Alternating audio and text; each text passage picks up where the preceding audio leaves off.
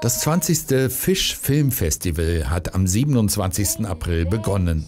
Über 50 Filmschaffende und mehrere tausend Besucher aus Deutschland und dem Ostseeraum werden erwartet. Ich habe gern die Schirmherrschaft über das Festival, weil es einfach wichtig ist, dass wir auch als Filmland Mecklenburg-Vorpommern äh, den Nachwuchs unterstützen.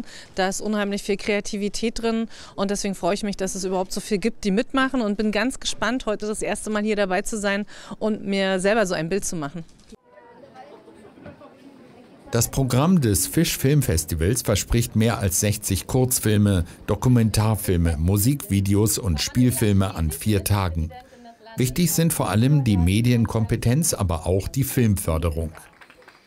Gestartet hat das Fischfestival deshalb mit dem Medienkompetenzpreis. Den ersten Platz in der Kategorie Nachgehakt haben 35 Schüler und Studenten belegt, die zum Teil aus der Ukraine geflohen sind, mit ihrem Imagefilm Ich bin Mensch. In diesem Jahr gab es eine sehr hohe Resonanz bei den Filmeinreichungen für das Festival. Insgesamt mehr als 700 von Filmschaffenden unter 27 Jahren. Das ist eine gute Nachricht zum Jubiläum. Das Besondere ist, dass wir 20. Jubiläum feiern. Also das Festival tatsächlich ist jetzt schon 20 Jahre geschafft hat.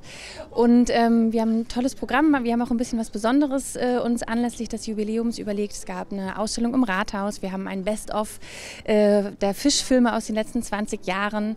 Und ähm, ja, wir freuen uns, dass es losgeht. Dabei sind auch Musikvideos für den Popfischpreis. Außerdem gibt es den deutschlandweiten Wettbewerb Junger Film. Der Hauptpreis ist mit 5000 Euro dotiert. Und seit 2020 gibt es den Offshores Young Baltic Cinema Wettbewerb.